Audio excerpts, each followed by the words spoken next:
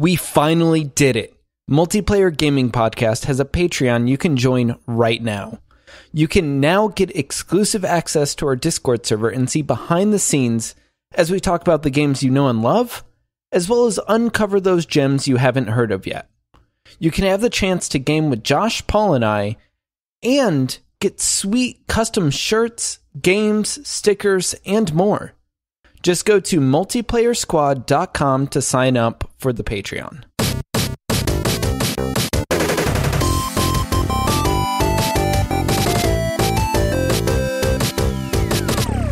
Hello. Welcome to the Multiplayer Gaming Podcast. We're here. We made it to 2021.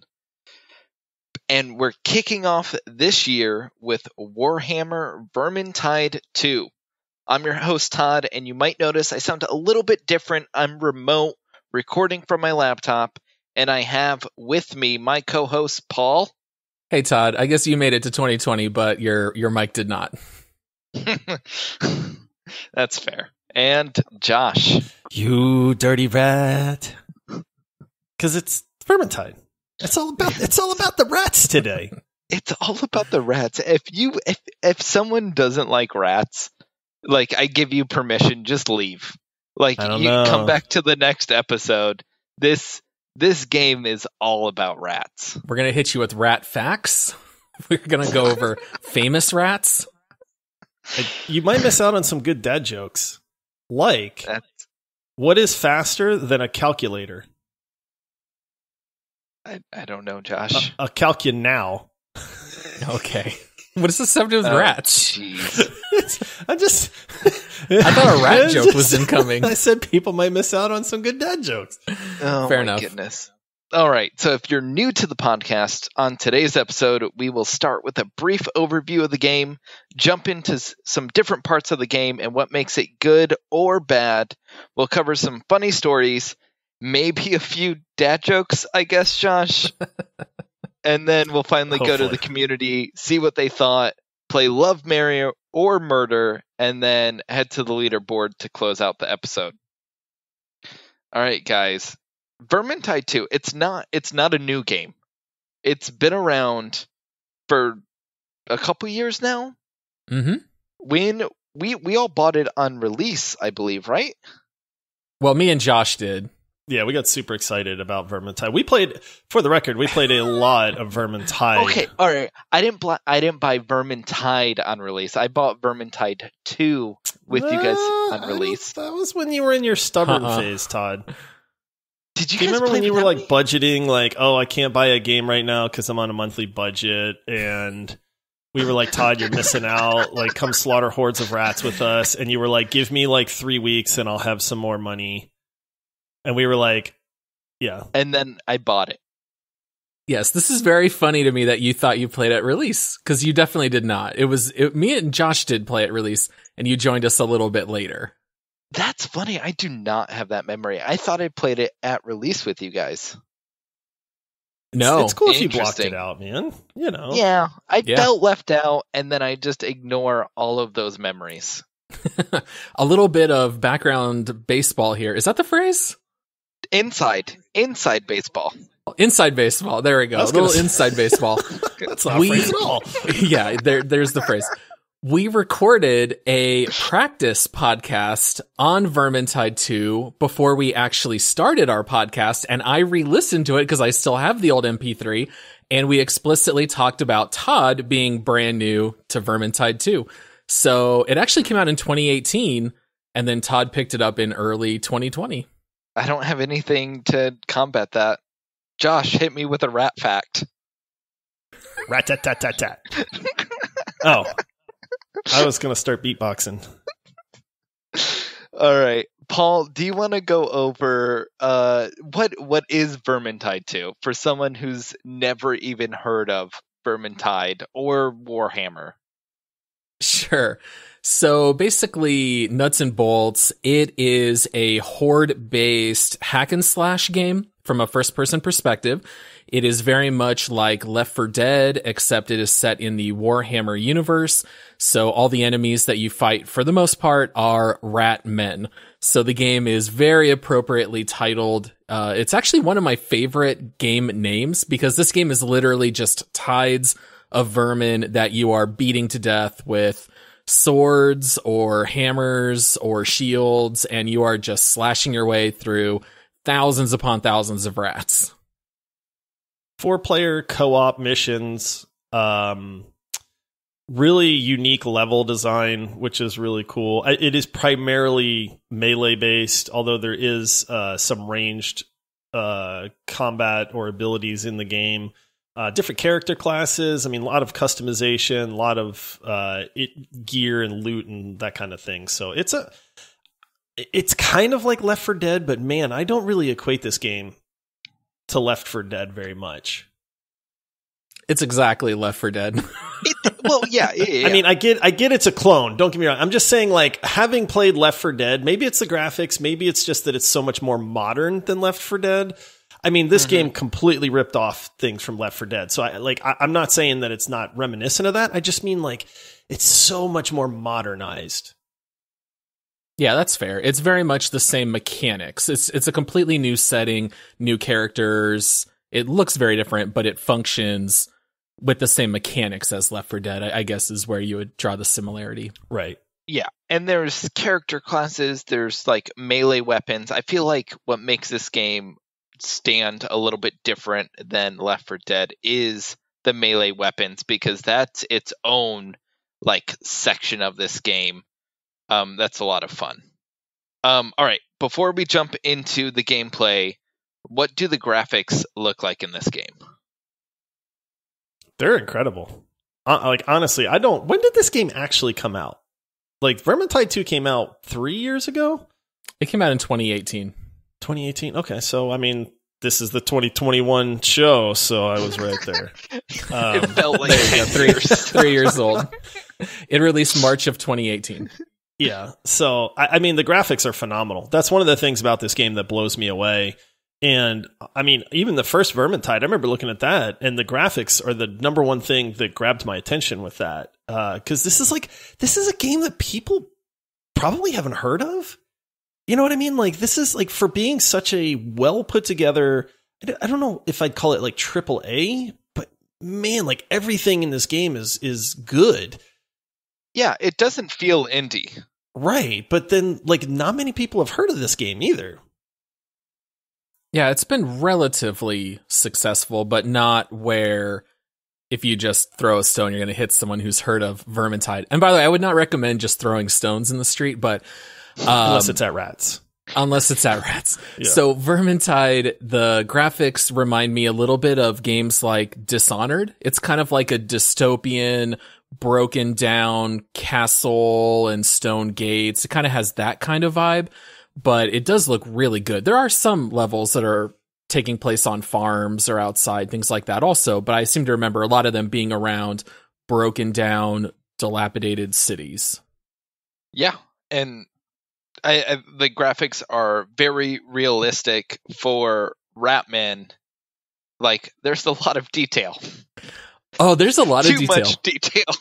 well, I guess one thing that we could touch on is that the graphics are pretty gory in this game. This is a very violent game because as you are slaughtering these rats, one of the things that is, I guess, very famous about the game is that the rats will become dismembered as you attack them. So it's not uncommon to see rat heads or rat arms kind of flying as you hit them with axes and things like that. So there is a pretty high level of detail, which is uh, a, a little bit interesting. Yeah. And then the the sound for the game. Like, is there anything that sticks out about the the audio or the sound for it? I think they do a really good job because something that is ripped off from like Left 4 Dead is your special like characters. You know, you have like the different rats that, you know, like the assassin rat or the globadiers or uh, you know, the hook rats and things like that. And you can always hear when they're coming. Um, so there's a very good like audio cue that you can pick up on that tells you like, hey, there's a hook rat somewhere around, and he's gonna climb over some wall pretty soon, and then like snatch one of your people. Um, and so I think they do a very good job of those audio cues. And then along with just the combat, man, like the combat sounds visceral. Like it's kind of like Paul was saying, like there's arms and legs and heads flying everywhere, but they all, you know, have a good splatty sound to them, you know, and like you, you know, you're swinging your, your axe and you just, you, you know, you hear it kind of like thunk into the rats or something like that. So I feel like the sound's really good as well. Um, and, and, like I said, it's primarily those audio cues, and then the characters have some banter back and forth. Uh, that's kind of goofy and crazy at times. It kind of just depends on which characters are interacting. Yeah, one thing that's kind of neat about the sound is, well, maybe taking one step further back and just kind of explaining. So when you play Vermintide, you pop in with your group of four, and if you don't have friends, you can join some random people, or if there aren't enough people available, they'll just be AI controlled teammates and you move your way from one end of the map to the other as you're fighting off these hordes of, of, vermin. And as you go through it, you will actually hear a lot of the enemies talking to one another. So you might have a patrol of armored ratmen and you'll hear them talk about their orders or they'll talk about like what's going on in the city. And that's one of the things that's kind of interesting too, because it adds to a lot of the ambient noise of the city. It's not just a quiet, silent city, it actually definitely feels alive and, and lived in, which I think is very cool. Yeah, you hear the armor uh, rattling as a patrol goes by. You can hear their weapons like hitting the ground. I, it, it's really, really well designed.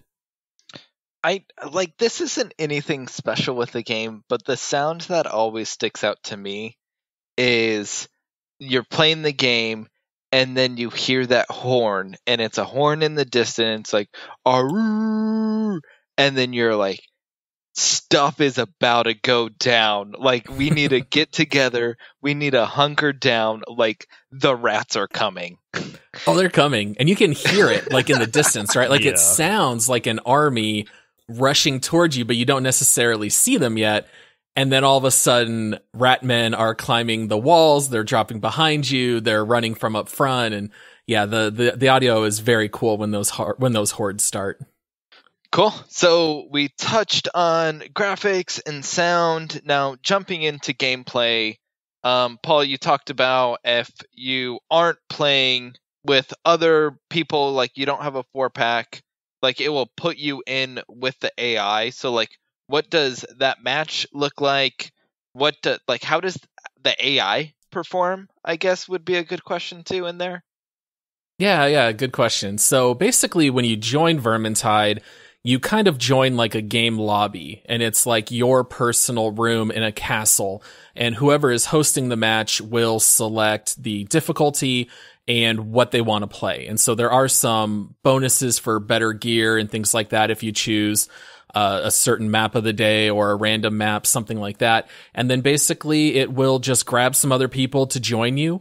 The AI controlled characters actually really aren't all that bad. I know some people actually prefer to play this game solo, which is kind of funny. So you can play anywhere from one to four actual people and then everyone will stand within a certain bubble and then it'll start the match and it'll drop you off in the beginning you fight your way through to the end some of the bo- some of the levels you'll fight a certain boss or there'll be a certain mechanic that you have to activate in order to end it and then when the match is over depending on how you performed you'll get a certain number of points which will give you certain a certain type of chest or you might get more than one kind of chest. And then you get to open them. They give you gear. You get to upgrade your equipment. And then you get to just move on to uh, another level and another run. And so I think we looked it up and there was there was 13 missions. And this is something like I, I feel like is a larger problem with these types of games um, that are very mission based. Josh, like, do you feel like the missions were repetitive? Do you feel like 13 was enough? I feel I mean there is there are a lot of maps and it's great when you cuz there is actually a story to this game. Um I'll be honest, I don't really know what it is. I have no but, idea what the story is. you, you killed know, the rat. There is a storyline. Uh, but as you as you go through the levels, there is actually a sequence that you're supposed to go through these levels, and it leads you to like the final level, um, where I you know we can't give any spoilers, but I think it's the Skittergate is the last one or something like that. But uh, so you do progress through there. The problem is, is that this game very much so encourages you to do quick play I don't know if it's just for matchmaking purposes or what, but when you do quick play, you get just some random map. Like it doesn't go in sequence. And Paul and I were playing last night. And dude, I kid you not. Every time I do quick play, I get the same stinking three maps yep. over and over and over again. Paul and I, we got that, we loaded in the map and I went, ah, crap, man, it's this map again. Yep. And then we died almost instantly because we were playing on a really hard difficulty. So we're like, all right, let's just let's just restart. We go back in, same exact map. Exact like, and it's one. supposed to be random. And I like I don't know if it's just I got bad luck, man, or or this game just likes torturing me or what, but I, you know, yes. So there's only three maps in Vermintide 2. Um, it's random which three maps you will get. but yeah, no, I mean the levels. There, there's honestly, there's great level design. I think they're gorgeous. They are different enough that you're you you don't feel like you're playing the same level. Like you know the level as soon as you load in. So I, I mean, 13 is a good amount. I just wish they'd fix the randomization on it. Well, and each run is about 20 minutes. I would say, if you run through it without too many difficulties and, and you beat each level. So if you run through every level at least once, you're talking about five hours of content roughly with the base game. This game does have quite a bit of DLC. And so they did add some of the maps from Vermintide 1, which were a lot of fun. And they did add a couple new ones as well but it does very quickly become pretty grindy. So once you've gone through the levels a couple of times, sometimes you join in, it's a map you don't really want to play, or maybe you get stuck with a bad teammate and it can be a bit of a drag where you're stuck on a bad run and pretty soon you're just kind of running them over and over and over just for the sake of getting better gear to improve your power level. And so it does become a grind relatively quickly. Yeah, I mean, I feel like this game has a ton of replayability. Uh, you know, I mean, it is grindy, but that's kind of part of it is that as you play these levels, you are looking for secret items that are going to increase your chances of getting better loot at the end. And so you do get into that like pattern of playing the different levels like over and over again, but you feel like you're progressing because your character is steadily getting stronger. And then as you get stronger, you unlock higher difficulty levels, you know, that like as we saw Paul, where you know all of a sudden you're playing on champion difficulty, and now uh, ranged friendly fire exists, whereas it didn't exist before. And if you get into the even higher levels, like friendly fire is just on all the time, which is absolute insane. insanity. with, yeah, with how chaotic insane. this game is, is like you're gonna be beating up your teammates as much as you're pounding on rats. I yeah, I, I feel like this is one of the games where like you the the levels seem a little grindy. They're not going to be a ton of variation in it, but you should be char- or changing the weapons and the abilities your character has so that aspect of the game is always fresh because you're getting new and different gear to kind of keep it interesting. If it wasn't for that, like I feel like there would be no replayability, but like that game, like this game like if you care about loot, if you're like okay to grind for loot and you want to experiment with different stuff, um, then like this game can be fun. Yeah, so it should be said to keep things fresh on those runs. There are five different characters that you can pick between, and they're all uh, quite a bit different. Actually, they have different weapons, they have different abilities. So you might play as a wizard, or you might play as a dwarf, or as an elf and they play quite a bit differently. And within each of those characters, they do have three or more different careers. So if you want to play as a dwarf, maybe you want to play as more of like a tank where you have a shield and a one-handed weapon, or you can play as more of like a berserker type character where you're running in with two dual wield weapons. And so you can swap back and forth between a lot of them, Although to be honest, I feel like it only keeps things so fresh because whether you're swinging a, a rapier or an axe or a battle hammer, ultimately melee combat kind of feels pretty similar to me. Where I have more of the fun is swapping out the range weapons because those can be quite a bit different. Whether you're using a bow and arrow versus pistols or a blunderbuss, you know, that, that can be quite a bit different. Yeah, and that's the thing. Like every character does have like two like melee focused uh like skill trees, and then they have like a ranged skill tree. And the only issue is like I don't think like I play Saltzpyre, which is the I mean I don't even know what class that is. That's the character I play, and I mean I I trade off between the rapier where I'm just head stabbing people or the big flail guy where I'm just swinging this flail and just taking out like, you know, 10 rats at a time. But the issue with like the range part of it is, is like there's ammo in this game and you burn through ammo something fierce, man. Like, so I've never played like his range class because it's like I'm just gonna run out of ammo. Like the first fight, like how am I supposed to kill this horde with this gun when the gun only has 30 rounds? and then you only come across ammo refills every like 10 minutes. Well, this is kind of one of the funny things because I like playing as Bardin, who is the dwarf, and I always play a very tanky build. So I go with a shield and a one-handed axe because the axe it's it has obviously the sharp point. It's very good against the specialized units. And what's funny is that the range that I use on my dwarf, it does not take ammo. They are Drake fire pistols that have unlimited ammo, but as you use them, they heat up. And so I have a bar right in the middle of my screen that as I keep shooting them, they get hot. And then if I hit R, he will unload vents on the guns that shoot out steam, but then it damages my dwarf. So I don't run out of ammo, but if I need to quickly reload, it actually hurts me. And since I habitually constantly hit R to try to oh, reload geez. my guns, I'm constantly shooting myself with this steam. But that that's one of the funny things where it's such a different range weapon where it actually doesn't even use ammo at all, which I think is pretty neat. Those magical pistols.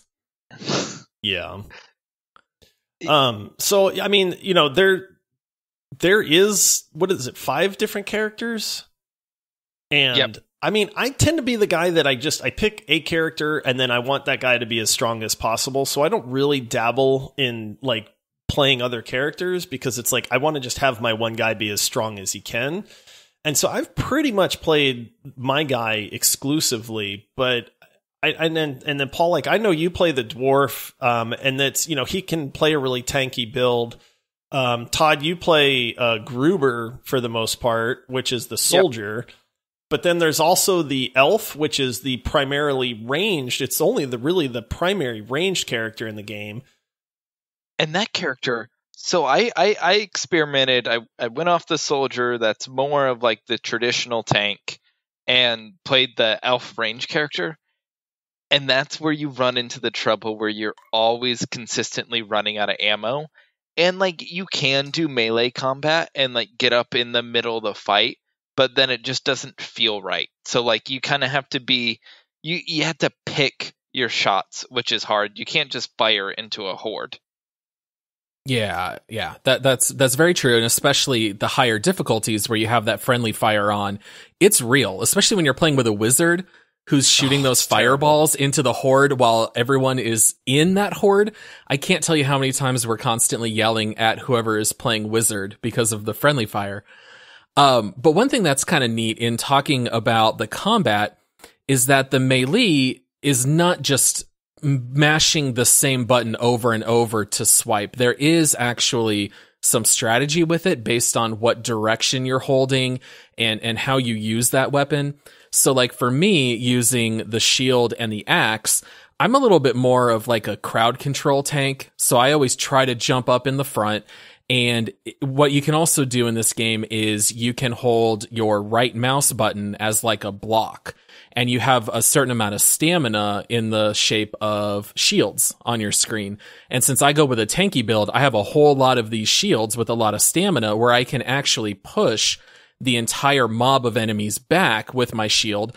And then I can either start swiping with my axe or If I hold the melee button, I'll actually pull up my shield and I can bash a whole bunch of them all at once. So there's a little bit of choosing whether I want to hit a single target with the axe or do a little bit more like crowd control and doing AoE melee swings. So it's actually a little bit more complicated than it might look at first, which which is very neat. And that's one of the things I love. Like honestly, I you know, I was talking about how the the two builds that I play with my guy is he has like a rapier but part of the fun of that build is, I mean, I can just slash rats with it. And it's fine. It chops them up and little dices and stuff like that. But if you hold your attack button, I will like rear back with the rapier, and then he'll lunge forward to do like a, a big stabby stabby.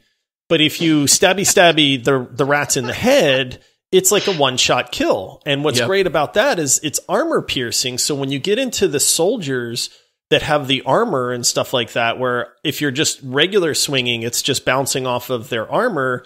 If I stabby stabby in the face, it's like an instant headshot and then they're dead. So it's kind of like it's neat that there is that that like difference in it and you like I said you can just go crazy and you can click a thousand times a second and just try to like swing away um but you can there is some tacticalness to it which I find really good and it makes the the actual melee combat feel a lot better than than a lot of games do. Like they do a really good job at it.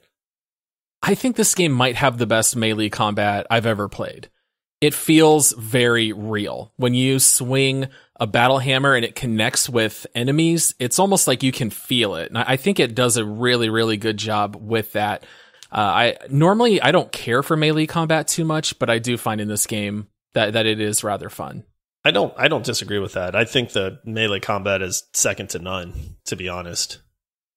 All right. So we talked a lot about different types of weapons, but what are your guys' favorite weapon? Because I don't like I have a favorite weapon in this game, and I just assume everyone does. And Paul, it can't be the Drake pistols. Oh, it's totally the Drake pistols for me, which is why one of the funny things is at the end of every round, they give you a summary of all the stats, which I actually kind of hate. Like, even though I get oh, how it makes neat you that feel is, bad. I know. I want to play as a real tank. And if I want to be a good tank, I am doing more of the crowd control. Well, that doesn't show up on the screen.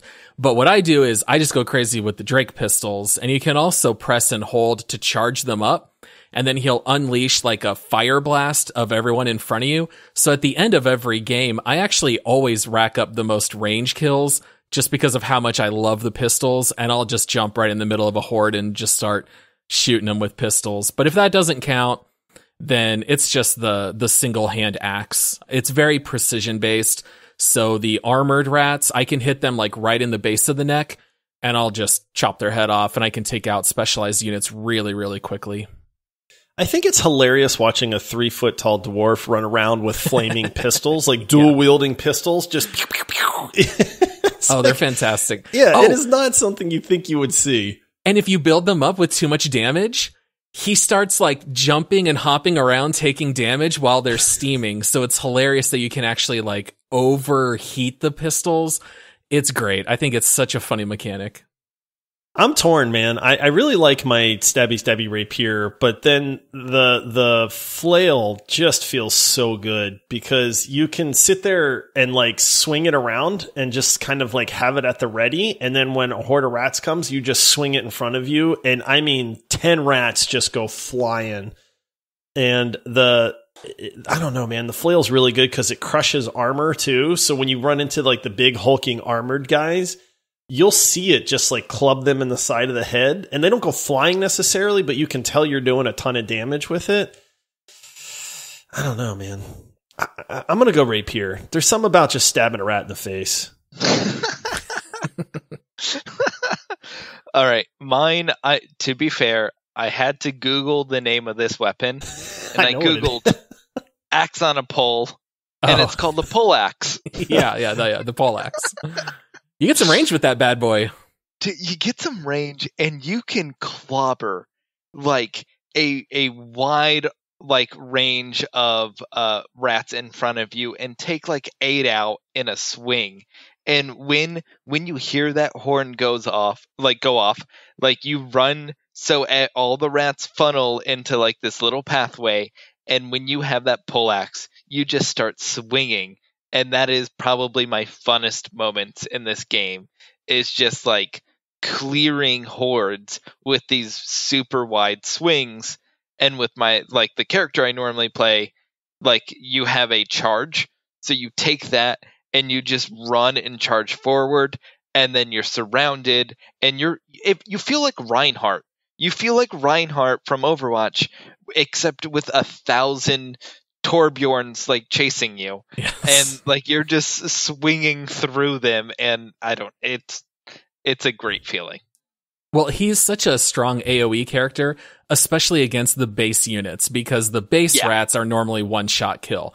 And when you just do a wide arc swing, oh yeah, there's nothing funnier than watching you swing that poleaxe. It's it's great.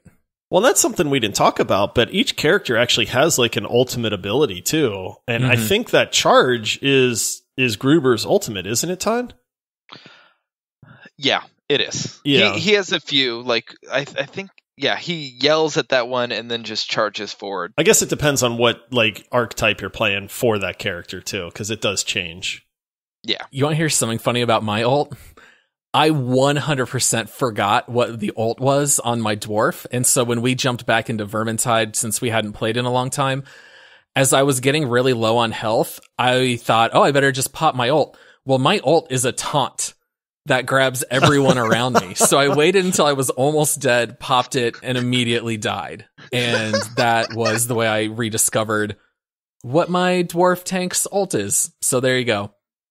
So what's the ult? You grab everyone around you and then Force all of them to attack me. Like any good dwarf would. Yeah, like any dwarf would. Nor- Yeah. Normally, you would do that when you're, you know, a little bit above 8% health, but that's when I popped at that time. But the good news is that if you do die, you're not just permanently dead immediately.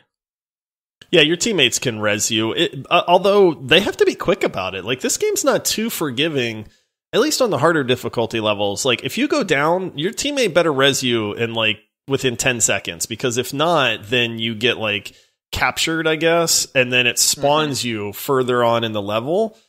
Um, but th- I mean, with only four people, if somebody goes down, chances are those dominoes are going to fall quickly, and then it's real hard to recover at that point. Well, and it's not just if you take so much damage that it then knocks you down, but also if your character gets partially knocked off a ledge or if you fall off a ledge, bring this up, Paul. your character will start holding on for dear life and someone has to run over and help you back up. Well, when Josh and I were playing around, what was that, maybe like two nights ago, yeah. all of a sudden we were fighting out on this like rooftop and there were a series of, of, of roofs, but in between them, you could just fall down into the pit and, and die. And so all of a sudden there was a horde of rats and one of the monster rats came running out and he had a giant knockback ability. And so he hit me and I start flying through the air and I tell Josh, Oh, I'm dead. Well, then my character actually went across to the next door house and landed holding onto the roof. And I thought that was so funny. I had to just stand around and wait until someone was able to run around, climb up that roof and lift me up. And then immediately I backed away, not realizing I was on the corner of that roof and then fell. And, and yes, that was fun. Yeah, Oh, watching I Paul that. wait so long to get rescued while we're fighting this giant boss rat, only to then immediately step backwards off of the ledge again was great. I mean, I should have just immediately died anyway, so it wasn't like I was Yeah. mad about it. So the fact that I just happened to land and hold on the ledge was just so funny, but I, I ended up dying anyway. And that's one of the things. I mean, we just kind of mentioned it. There are bosses in this game. Um, there's like end of level bosses, but then there is the random, like super hard, gigantic ogre rat, or I don't even. I mean, there's a bunch of different ones. That what are I don't I don't even know. There's like six different like mega rats that can spawn during the level. But like where on the level they spawn can make all the difference in the world as to like how bad your luck is going to be because on that the other night when we were playing we were on a very narrow ledge where there's like a pit on like one side and then your back is up against a mountain on the other side and this giant rat spawns it's got this huge knockback and it's like dude like here Like, how are we supposed to fight that guy here? Like, we're on this narrow ledge. You need room to like run around and kite this guy, and he's just smashing us like off the ledge. I mean, our- that was when our whole team wiped. Yeah, we wiped and had to restart after that. Yeah. Yeah. It was just a little bit of bad luck there. But yeah, there there are several different rats that will either be like mini bosses or just specialized units. So like one of my favorites, which is just so stupid because clearly this game is just built on puns, but it's the Ratling Gunner. Yeah, oh yeah. And so he's just got a Mm. giant Gatling gun that shoots these bright green trailed bullets that you can see flying through the air. And that just always cracks me up. But the, the, the Ratling Gunner might be one of my favorites. the the Ratling Gunner was bad and then there was always this one oh, i don't know the name but they shot this giant like green The globadier. gas poison the globadier and Yeah. that rat like that dude would always be just beyond reach like shooting these giant poison bombs that would explode and then kind of like cut off sections of the map that you can run to until like it it dissolves but yeah that was always the worst rat for me Yeah, I it was I hate the the stupid hook rat that'll grab one of your characters. So like you have to be ter- like you can't fall behind. If you fall behind and a hook rat grabs one of your guys, like you're toast. Yeah, in, in that Yeah. case, it's a little bit like Left 4 Dead, where the game will punish you if you go off on your own. This game is very much cooperative based. If you try to go one man army down another street while the rest of your team goes another way, all you got to do is get hooked once or uh, jumped on by an assassin rat, and, and you're going to die pretty quickly. So it definitely involves strategy, playing as a team, put your tanks up front, don't do friendly fire, and, and in that sense, the game is pretty strategic. Running through the game you have like all these different um, rats that you're fighting and that and then you know we talked about it a little bit earlier but there's these tomes and uh what what's the other The thing grimoires. Grimoires. the grimoires Grim- i don't even know what that means a grimoire. It's like a spell book, I guess, is, it's is a, what it it's a memoir Yeah. of um yes, the the the, wi- so- the wizard's memoirs. so you have to run through and there's three of each right on each level and you can only carry two items but um, i think josh said it earlier in, in the podcast um, it helps you get better loot at the end of the game. So like I, I know at the beginning you know or at least when i first started we had a hard time finding these on your last playthrough is it easy to find them? I don't think they change positions, right? They're No, always they in the same don't. spot. Yeah, part of the so part of the thing is there's two different there's tomes which if you pick up a tome it takes up a, a slot. So your characters you, you have a potion slot, like a bomb slot, and then you have like a healing slot.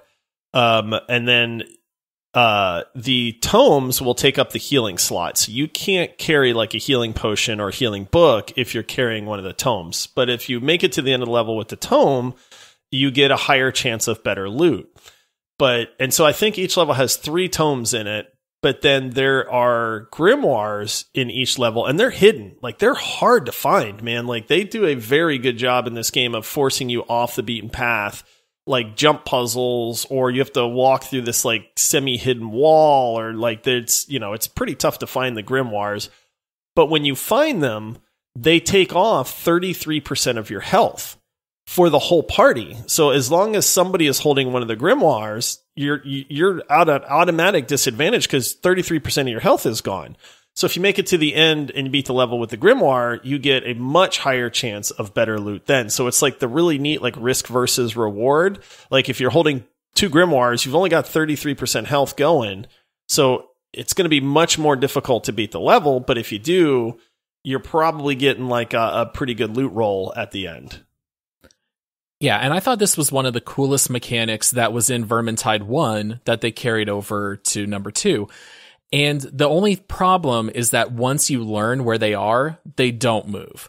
So they are fun to discover on your own in the beginning, but if you do quick plays, everyone knows where all the tomes and grimoires are. And so you're just expected to kind of know where to run. You immediately grab them, take them to the end.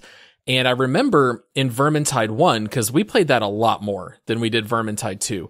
And in Vermintide 1, we had everything on just like regular grind. We knew exactly where everything was, but then they released a patch and they moved Oh, all of them. Right. And we were so excited. It was such a simple change, but it breaks up the monotony, right? Like Right. we were on mm-hmm. just the grind and it was a little bit of a rut doing the same thing over and over. But just by moving them, we thought it was so cool to have to find them again. And I always wondered why this game doesn't just either randomize in several locations or just issue a mini patch once a month, move them around. And I feel like the longevity of the game would be a lot more fun if you were actually doing more exploration and finding them. This is a little off topic, but Paul, were you in that group we had in Vermintide 1 where we had that hacker that was in our party? yes. I, I think it was you, me, the, and the and hacker. Andy. And was Andy in there too? I th- I'm pretty sure Andy was in there too, yeah. And we got a lot of really, really good gear. Confession time. This is the What only time? I've been part of a hacker that has been helping out Yes. where I was not upset. That's that's not true. Left 4 Dead. Oh no no no no. Payday two. Oh, that's right. 2. Okay, second time. But the, Same the thing. yes, Yeah. that's right. But yeah, I remember we had this hacker in our party and he was like warping through the level and grabbing the grimoires and loot dice and then just somehow ending the level. So for like an hour we were just getting max loot rolls like over and over again. Well, what he would do is we were queuing on on the highest difficulty, which I think was like legendary or whatever it's called. And we were just kind of hoping that we could maybe you know, just have some fun and and work our way through progression, learning how to play on the higher level. But we just get this guy who could warp around the map instantaneously. And so he would immediately warp to a tome, pick it up, immediately warp to us, drop it, and say, one of you pick this up. And then he just did it for all the pieces and then immediately ended the level. And I think we did that a good maybe 10 to 12 levels before he just stopped and logged out. But that was enough for us to just load up on so much good gear. It was, it was very funny. I think it's funny people who cheat in co-op games like this. Like there's no competition to it. You're not winning. Like it how how does cheating like that not feel mundane after doing it twice? Well, I think the fun for him was not beating the levels. It was him helping us. He knew that we were noobs Yeah, just to the some new random difficulty. guys. Mm. Yeah. So it was him helping us out. I think that was where it was fun for him. That's pretty funny. Yeah, I think he was a benevolent hacker. There's there's not too many of them out there. I yeah, I remember last time we all played as a group, they're like our fourth um hated us. Oh, He I remember us. that guy. And he we- wouldn't finish the level. Yeah, he would not finish the level and he resented us. And like he was the opposite of the benevolent hacker and he was the normal dude who was doing everything in his power to Oh. like make the level harder. That guy was the I- toxic jerk, man. I think it's well, it one because we kept on getting knocked down, and two because we didn't know where the tomes and the grimoires were, and like he got upset over that, and we're like, just just show us where they are, and like he just was not having it. And some people will torpedo matches. So if you're the host and you DC, it kicks everyone out.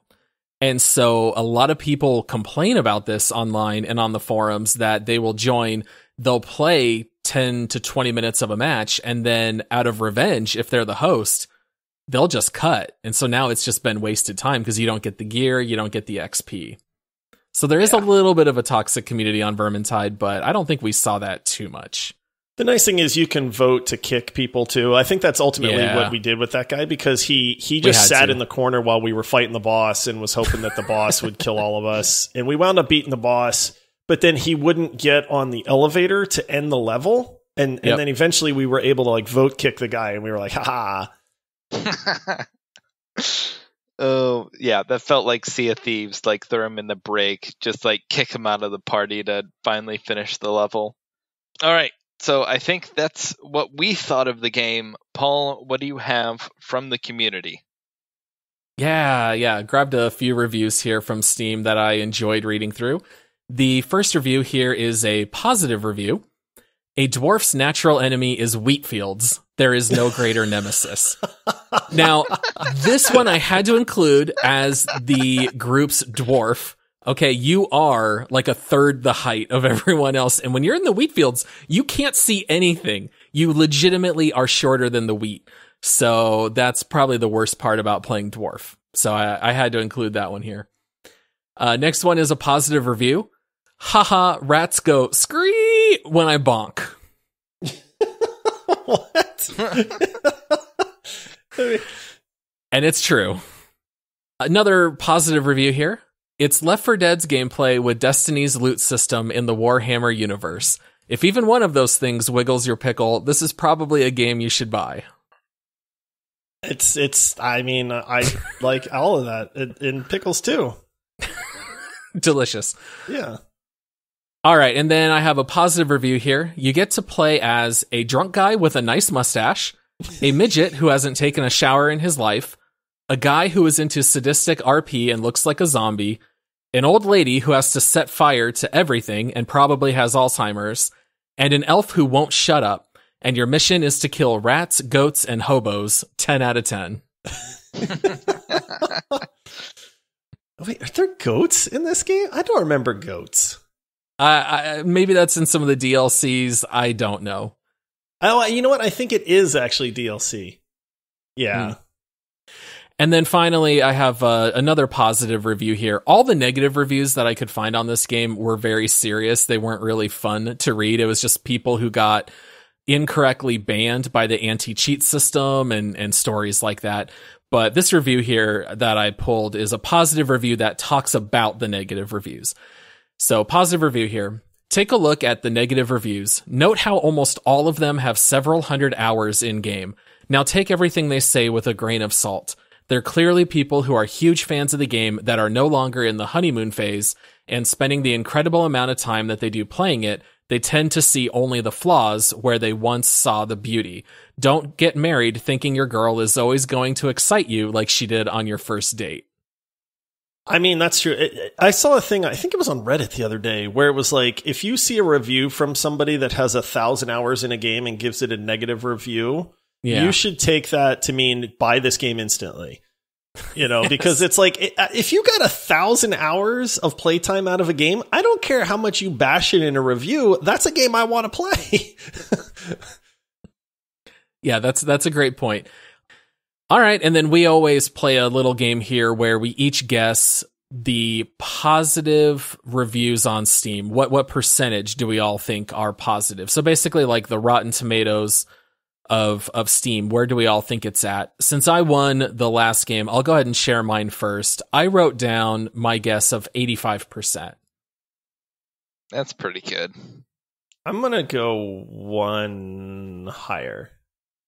No, I'm going to go two. I'm going to say 87%. Okay, 87 for Josh. Josh stole my answer. I was gonna go one higher than him. Um, Hey, maybe all right, it might I'll be go. 86. I'll, with I'll go. uh, I'll go eighty-eight. Wow, I can't believe this, but the actual is 80%. Wow. Paul, uh, all right, that's like three in a row that Paul has won now. That is three in a row. But yeah, so it was a little lower. I, I think it's I think it's interesting that we all thought it would be a little bit higher. Yeah, I don't. There's not much to dislike about this game. To be like, I don't understand the low rating. To be honest with you, other than that, it can get repetitive. It gets very repetitive, and I think another reason might just be similar to what we experienced, Josh, where we played so much Vermintide 1 that when Vermintide 2 dropped, they didn't really add a whole ton. You can almost think of Vermintide 2 almost as like DLC to Vermintide really 1, is. to be honest. That's kind of how it feels. So maybe a lot of people just didn't think it added quite enough for the new one. I mean, before we get into the Make Love Marry Murder, I, I mean, we played an awful lot of Vermintide 1. And then we got super hyped when Vermintide 2 was releasing. And we hit that wall on Vermintide 2 pretty quick because there was not a lot of drastic changes to the game. I mean, there was some nice updates and there was a few graphical updates maybe, but I mean, it really The new was just a Yeah, yeah, you had the new careers, so there was a little bit more like customization, but there was no change to the gameplay loop like at all. So for us who had put I don't know, 100 or so hours into Vermintide, Vermintide 2 was a little bit of a letdown, but only because we had played Vermintide 1 so much. Exactly, yeah, because we loved the first so much. But yeah, it was the same characters, a lot of the same style weapons. They added a couple extra things, but it really felt like Vermintide 1 2.0 as opposed to being like a brand new game. Right. Yep. Yeah. All right, so so three in a row for me, huh? This is this is becoming I like quite it. the trend here. I don't like it at all. It's, it's your hat trick. Oh, there you go. All right, Are Paul. you guys ready for me to introduce this next segment? Oh, yes. All right. Hit that music. hey, baby. I wish I were cross-eyed so I could see you twice. I think you used that one before. I did not use that one before. I'm pretty sure you used that one before. No, Oh no. my goodness. Go back, check the tapes. All right, so welcome to Make Love, Marry, or Murder. Uh, in this segment of the show, we basically break down the game where each of us share whether this is a game that we would want to just make love to, marry it long term, or murder it. So, who wants to go first? This is an easy one for me, so I'll jump on in. This is straight up make love game for me. There's there's nothing to not like about this game. It is so much fun for a little while. Um, I, I mean, I'm hard pressed to say what I don't like about Vermintide 2, or or just the Vermintide series. To be honest with you, the only complaint that I have, and the reason that it's not a Marry, is when you hit that gameplay wall it's just it's done. Like we hit that wall and we we played some matches just to kind of remind ourselves and check out anything new in the game. But even then it was like my brain was just like yeah i've done this a thousand times. I don't want to do it anymore. You know uh, but i mean uh, aside from that it's a it's a great game man. Like i it's a it's an easy make love for me I think you are spot on. I think this is the most make love game that we've ever covered. This is like the perfect summer fling or like summer girlfriend, right? Like it's great for a season, but there are not enough incentives long term. Like there's just not enough to keep you going back to it, but it is great for a short season of time, especially if you're going to go through it with a couple of friends. If you have two or three other friends that are willing to pick this up, it is absolutely a blast. Even if you are just playing solo, I think it can be incredibly fun. But this is not the kind of game I am going to play 100 hours or more. But I think for a solid one to two months, you can get a lot of fun out of this game. And yeah, so I'm gonna, you know, love it as well. But I think you need the caveat of like you have to like melee combat at least a little bit. Like if you are first person shooter, don't like melee combat, go play Deep Rock Galactic or something like that. But if you do like melee combat, you know, this is it's a, it's a good game. It is a very, very good game. I don't think I would call it great, but it is Right. incredibly good. Right. A little bit better than fine. Yes. All right. Is it worth the retail price of twenty nine ninety nine? You know, I think I might be the most frugal gamer in the bunch, but I'm actually going to say yes. Really? I think it is worth the $30. Now, you're not going to get 100 hours out of this, but I think that the 15 to 20 hours that you will get is so entertaining that it's worth it. Like I always try to compare it to going to the movies. If you're willing to pay $15 to go see a 2-hour movie, then am I willing to pay $30 to play a 20-hour game? And in this case, I would say yes. Now, I will say this game is always on Steam sale. I don't know that I've ever seen it not on sale. I swear it is always 75% off in my Steam feed.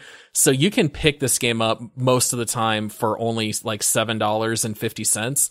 And especially if it is on sale, it's a, it's an absolute no brainer. Yeah, Paul kind of spoiled where you were going with that, Todd. But Yeah, that's fine. I, I It- mean, this game's this game's also on Xbox Game Pass, um, Yeah. on console, And like that's where, you know, I love Xbox Game Pass and this is another example of a great game you can pick up for free. It's not like, you know, going to be your new favorite game to play all day every day. It's not going to replace Call of Duty or Halo or any of those games, but you're going to get 10 20 hours out of it and it's going to be fun.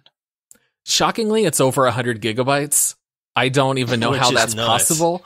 It's all those rat It's the- textures. I think it's the high resolution because, like I said, I've the, the resolution in this game, the texture resolution is through the roof. I mean, stuff looks super good. So I'm assuming that's where the size comes from. I- I- At at twenty nine ninety nine, if you have not played Vermintide one, then this game is absolutely worth thirty bucks. Um, at seven dollars and fifty cents, which is what it regularly goes on sale for, if you don't pick it up for seven dollars and fifty cents, you are missing out, man. yeah. I think that's fair. So three make loves. All right, let's go to the leaderboard and see where this game stacks up.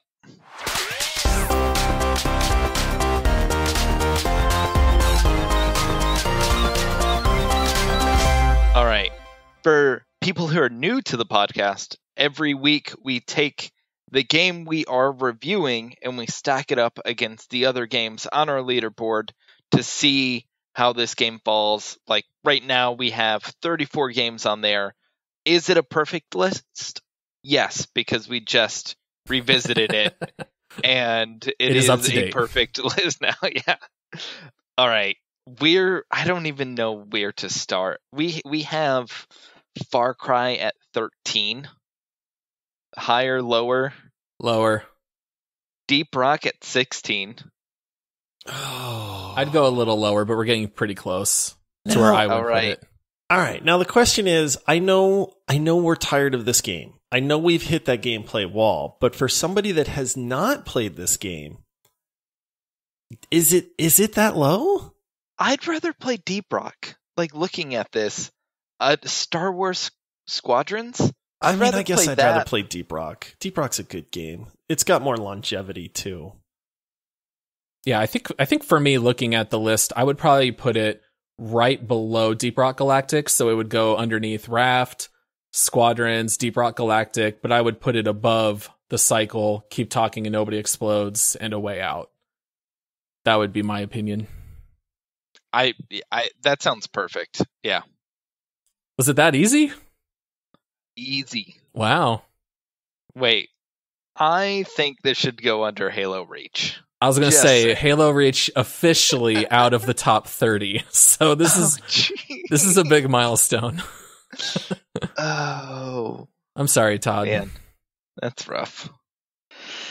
All right, well, that wraps up the leaderboard segment for our show today. If you want to view all of our rankings, you can find them on our site, multiplayerpodcast.com. If you're interested in finding out more information, you can find us on our website, multiplayerpodcast.com, Patreon, multiplayersquad.com, Twitch, Twitter, and Instagram forward slash multiplayer pod. See you guys Thursday. See you Thursday, everyone.